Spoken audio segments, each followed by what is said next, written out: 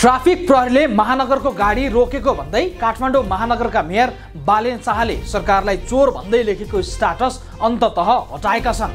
बालेनले राम्रो काम गरेको देखि नसहने केहीले उनी विरुद्ध साइबर ब्युरोमा उजुरी गरी यो केसलाई झन लम्ब्याउने र बालेनलाई पदबाटै हट्न दबाब दिने गरी भएको षड्यन्त्रबारे थाहा पाएपछि उनले सो स्टाटस हटाइदिएका हुन्। कतिपयले उनले गल्ती स्वीकारे वा गल्ती महसुस गरे भन्नेसम्मका तर्क पनि गरेका छन्। तर कसले कहाँ गल्ती गर्यो र कसले कहाँ गल्ती देख्यो भन्दा पनि बालनले आफूले बुझाउन खोजेको कुरा सरकारले बुझिसकेको बुझेर स्टाटस हटाइदिएका छन्।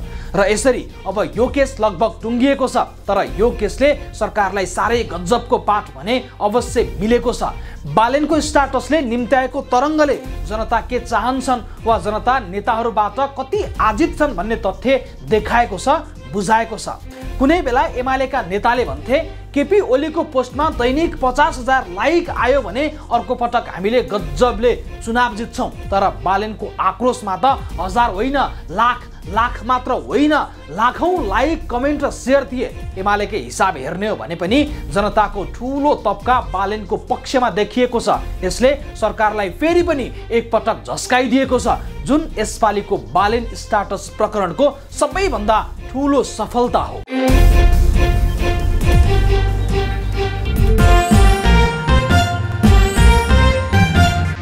नमस्कार यो समय अर्थ सरोकार डट कमको प्रस्तुति बजार बुलेटिनको हो।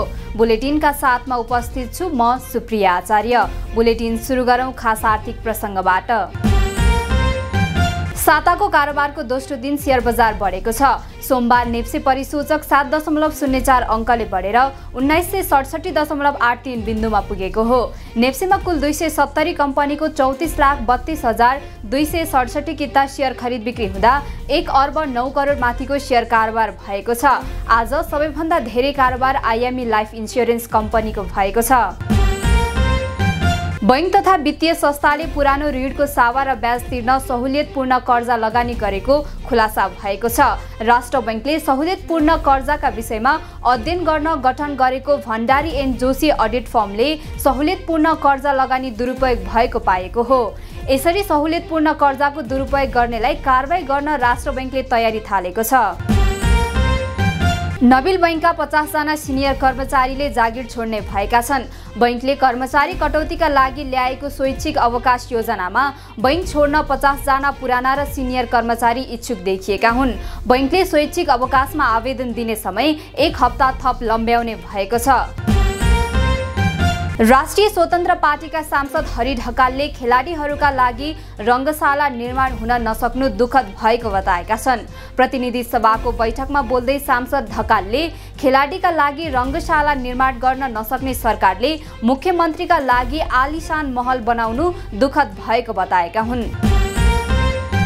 ग्लोबल आइएमई बैङ्कले नगद तथा चेक जम्मा गर्ने मेसिनको शुभारम्भ गरेको छ। बैङ्कले रकम डिपोजिट गर्न फर्म भर्नुपर्ने र लाइन बस्नुपर्ने झन्झटको अन्त्य गर्न उक्त मेसिनको शुभारम्भ गरेको हो।